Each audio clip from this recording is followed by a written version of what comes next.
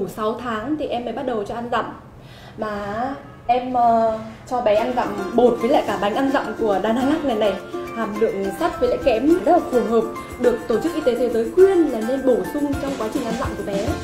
Con nhà em cũng đang dùng bánh Danalac này tiện ơi là tiện. Mà đỡ phải là nghĩ xem là cân đo đong đếm ăn gì mà vẫn đủ chất nhá tốt quá nhỉ? Chị ngại nhất là cái khoản mà suốt ngày á ôi rau rau củ củ lách lách cách mệt. Ơi là mệt đấy. Đúng rồi đấy chị ạ em cũng thấy nhàn hẳn ra luôn. Bánh ăn dặm Danalac không nghịch ngơi giúp bổ sung vitamin và khoáng chất. À, còn kích thích khả năng cầm nắm này tạo cảm giác hứng thú cho con trong bữa ăn đấy. Đấy tiếp chị suốt ngày cứ lu bu lu bu về trận dọn nhà dọn cửa. Có thời gian để tìm hiểu mấy cái này đâu.